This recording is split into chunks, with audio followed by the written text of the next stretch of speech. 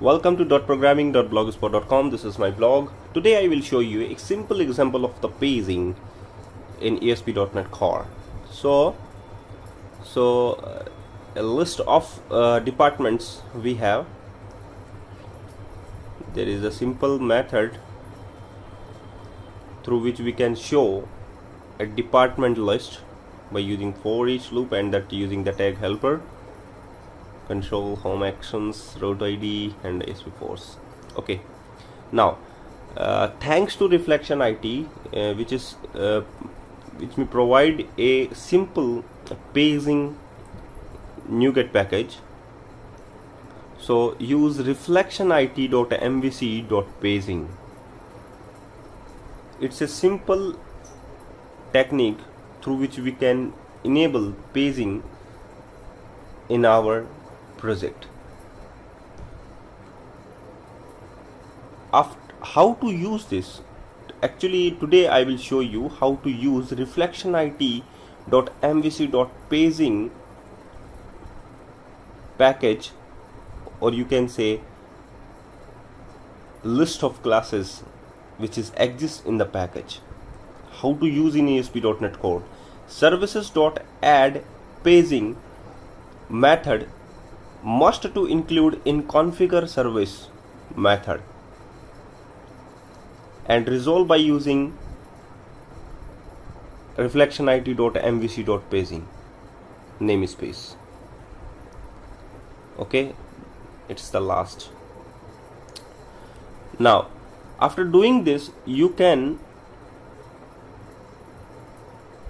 add some things in controller in the index first to set the default page is 1 so integer page equals to 1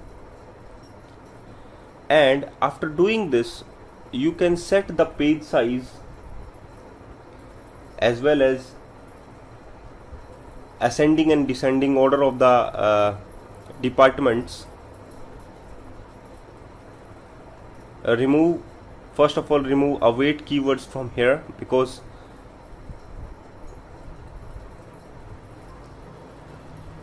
it we have not need here. As no tracking dot order by. And the order by is id or you as well as the name. In this tutorial I have to use id for ascendings. Now in use a modal.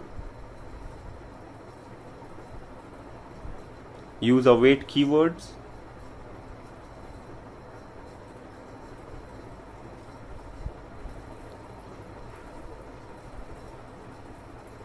Here we use paging list of reflection IT yeah that is paging list dot sorry paging list contain which class that is department class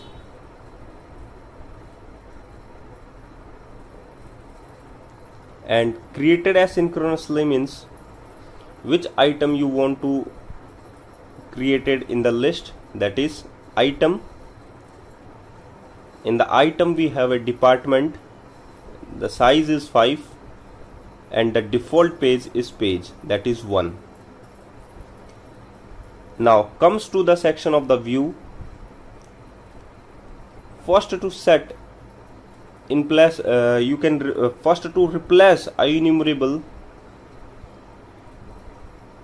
sorry first to replace reflection it.mvc.paging list with the enumerable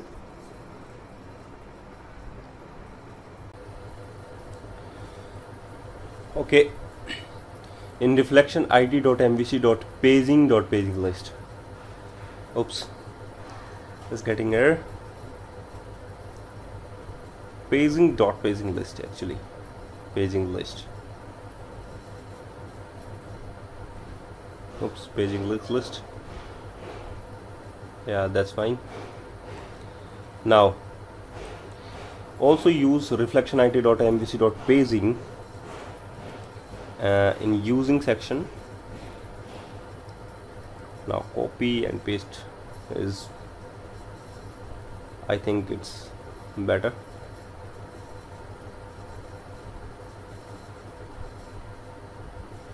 Yeah.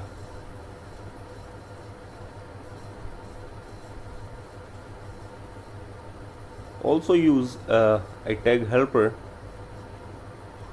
Add tag if you have some master pages or the layout pages you can also add that tag helper in that section. Otherwise you can use it here. Okay. Reflectionit.mvc.paging that is the tag helper. So provide the navigation properly in a blue, so use the navigation section for your pagings 1 2 3 and the next and the previous button also is there. Await this dot component. Uh, invoke asynchronously. Is a method.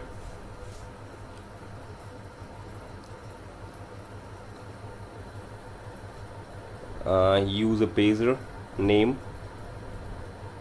In the um, object name and our new paging list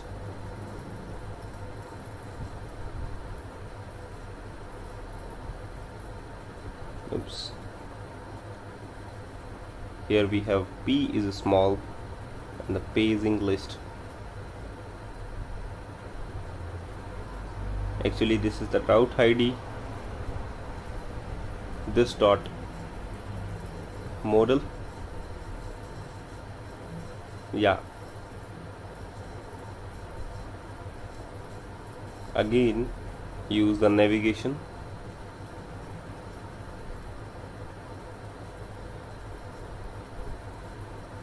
for the header and the footer section.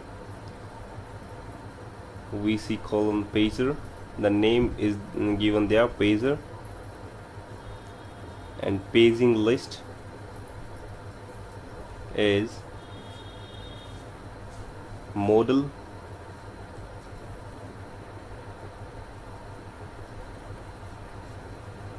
now save this.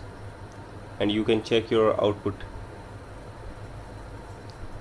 uh, if you like this video please share this video. Also like this video and subscribe my channel. Because uh, I have to give you a be uh, better video tutorial. And thanks to reflection IT again. You can check the uh, the whole code.